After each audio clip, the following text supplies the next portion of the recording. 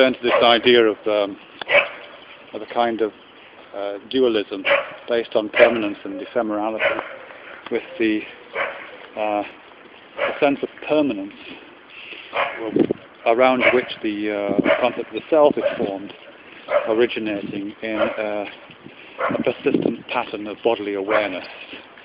Uh, again, I'm citing Damasio and one, or two other people here. Uh, some kind of a persistent message is sent up from the body to the brain. Keep kind of saying, here I am, here I am, here I am. It persists throughout our life, through all the other changes that are taking place in terms of what our conscious and non-conscious thoughts are doing, in terms of what our physical body is doing. There's a persistent pattern of information. And uh, what I'm kind of suggesting is that that forms one element of what we perceive phenomenally to be a dualism. Uh, where am I going with that? Well, I, go, I suppose I'm interested in, in, relation to a particular kind of um, training. Because certainly some kinds of training for excellence, performer training I'm thinking particularly, but it might apply to other kinds of training, is to do with uh, notions of centering. Uh, so, for example, body-mind centering practice, which I think is Bonnie Bainbridge Cohen's thing, uh, has this idea of finding a center, uh, a, a, still center of a turning experience. Uh, and most physiological and psychophysiological training strategies have some kind of a notion of a center uh, and uh, the, the, positive benefits associated with finding that center, centering oneself.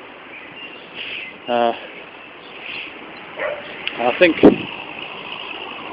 the purpose of, perhaps the purpose of that is, uh, is to kind of reinforce this idea of the center of one's being, the center of one's self, which we all need, I'm sure, uh, is ultimately anchored to a bodily experience.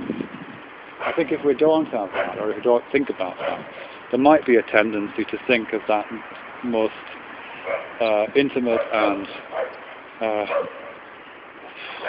self-defining part of oneself, not as being that physiological thing, but as being some kind of um, narrative or some kind of skill or property or physical attribute.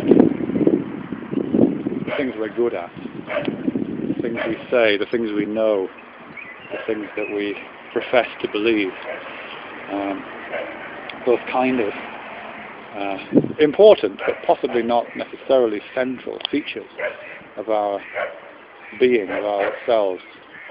I think if we associate those things with ourselves, with our centre, and say that this is what I ultimately uh, am, this, this persistent being which is myself, is associated with this set of beliefs, um, or this set of skills, or this particular kind of a, of a history, uh, then that's ultimately fragile and requires a lot of maintenance and is subject to assault and damage.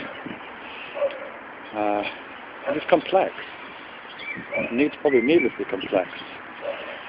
Certainly in something like performer training, I think if you're trying to maintain a sense of of those kind of uh, centres, which might translate into kind of ego centres, then it's much, less likely to be able to make the kind of moves, take the kind of risks, um, uh, expose oneself, make oneself vulnerable in certain ways, than if you are not anchored in those kind of possibly illusory centres or more eccentric or more, more peripheral areas of oneself than if one is more, more closely associated with this uh, persistent pattern of some kind, ultimately a physiological pattern, a physiological sense of here I am, here I am,